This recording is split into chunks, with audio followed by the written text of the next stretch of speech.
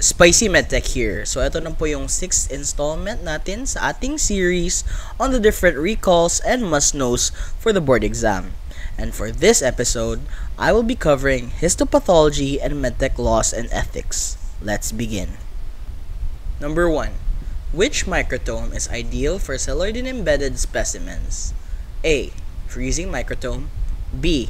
Rotary microtome C. Sliding microtome or D ultra-thin microtome. So, answer po natin dito sa number 1 ay letter C, sliding microtome.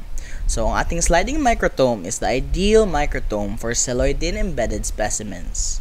Yung letter A naman, yung freezing microtome, is commonly employed in frozen sections. Yung letter B, yung rotary microtome, is commonly found in the lab to cut blocks of tissue embedded in paraffin. Yung letter D naman, yung ultra-thin microtome, is suitable for specimens to undergo electron microscopy. Number 2. The first and most important procedure in the preparation for microscopic examination. A. Dehydration B. Fixation C. Clearing or D. Embedding. So, yung answer po natin dito sa number 2 ay letter B, fixation. So, itong fixation po natin is the first step in tissue processing. And it is the most important because it preserves cells in a lifelike state for microscopic examination. So, the steps in tissue processing are as follows. First is fixation, then it is followed with decalcification, dehydration, clearing, impregnation, embedding, trimming, section cutting, staining, mounting, and finally, labeling. So for number two, our first step in tissue processing would be letter B, fixation. Number three, which of the following is not employed in dehydration? A.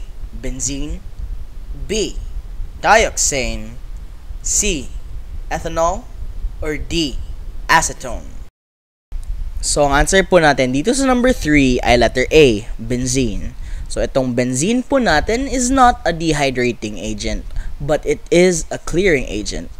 It is very rapid, but is not widely used because it can cause tissue shrinkage and is carcinogenic in nature.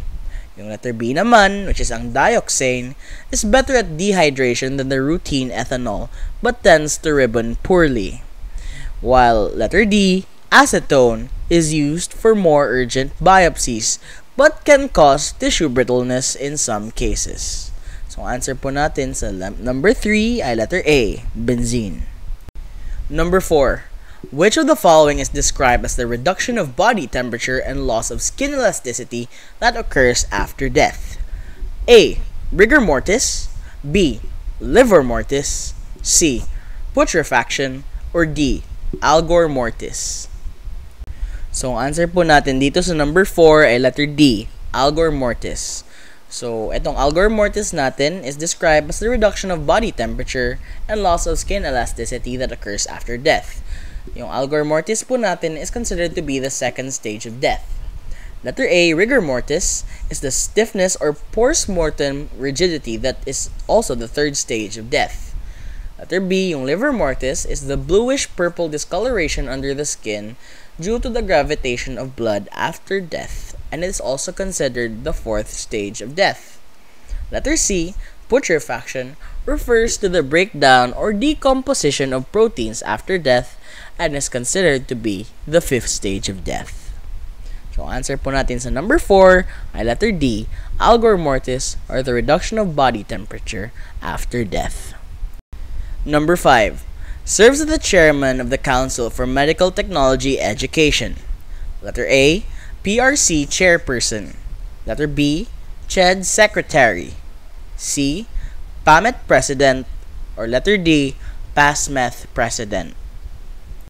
So, ang answer po natin dito sa number 5 ay letter B, CHED secretary. So, as stipulated in Section 3 of RA 5527 or the Philippine Medical Technology Act of 1969, the Council of Medical Technology Education should have the CHED Secretary as its chairman.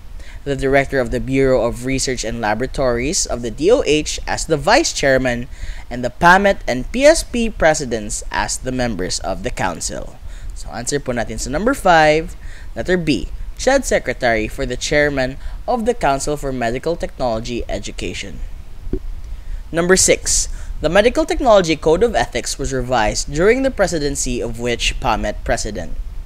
Letter A. Norma Chang. Letter B. Charlemagne Tamondong. Letter C. Agnes Medenilla. Or letter D. Nardito Moraleta. So, answer po natin dito sa number 6 ay letter A. Norma Chang. So, it was during the term of Norma Chang on 1997 to 2000 wherein the Medical Technology Code of Ethics was revised.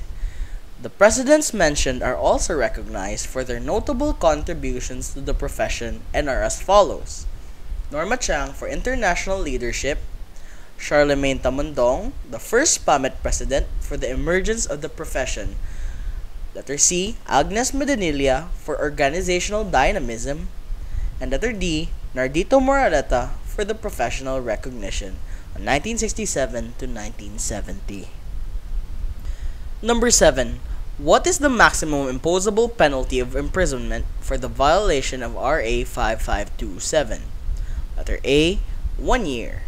Letter B, 6 months. Letter C, 24 months. Or letter D, 10 years.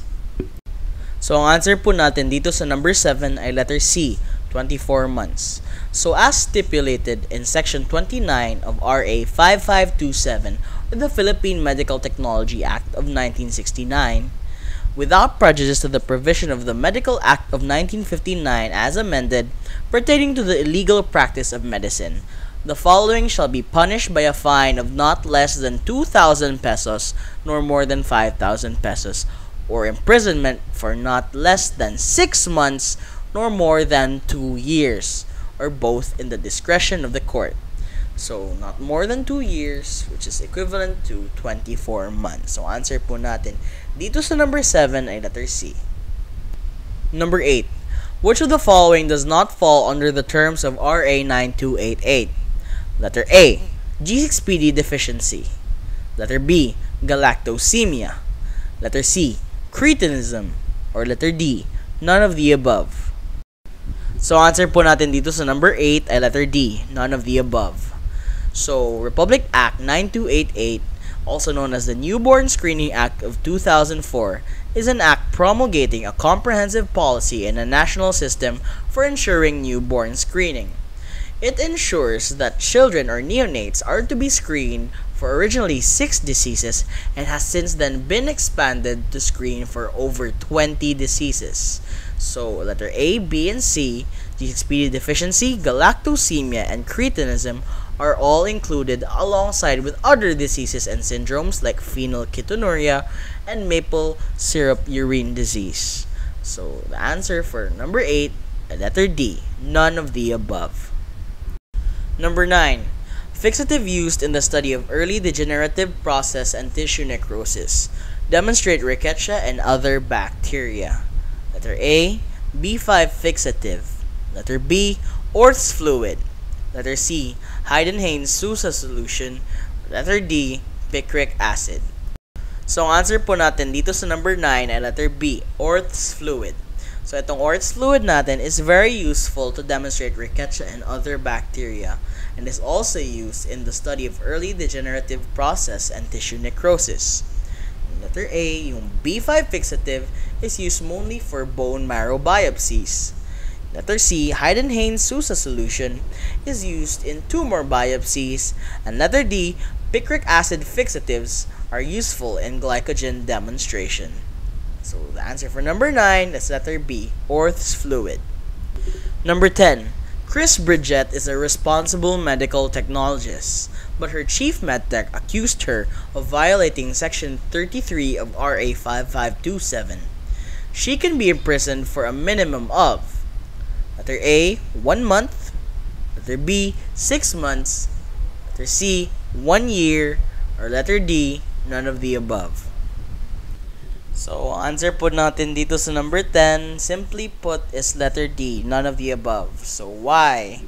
We're talking about RA 5527 or the Philippine Medical Technology Act of 1969. And simply put, RA 5527 only has 32 sections. So obviously, the answer would be letter D, none of the above. So that would be all for the first set of the different recalls and must-knows for the board subjects. I will be making a second batch soon and hopefully I could push around 15 to 20 questions per subject per video. And I apologize for taking quite some time with HTMLE because I admit that I am not as familiar with HTMLE as I am with other subjects. So for now, I hope you enjoyed, I hope you learned. Please like and subscribe and I hope you can comment down below on any other topics you want me to cover on this channel. So thanks for watching. I hope you enjoyed.